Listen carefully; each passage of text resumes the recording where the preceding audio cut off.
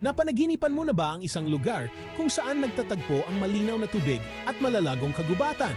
Tara na sa Palawan! Isipin mo ito, tubig na kay linaw na parang makikita mo ang mga isdang sumasayaw sa ilalim. Yan pa lang ang simula sa Palawan, magkayak sa mga nakatagong lagoon ng El Nido kung saan bawat liko ay may bagong sikreto.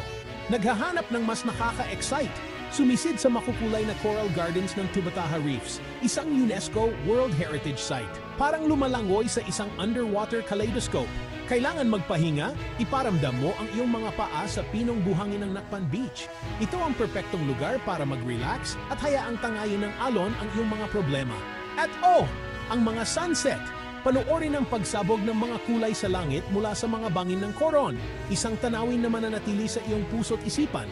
Kaya, ano pang hinihintay mo? Mag-impake na at tuklasin ang kagandahan ng Palawan, Pilipinas. Pakikipagsapalaran, kagandahan at hindi malilimutang alaala ang naghihintay. Kita-kits!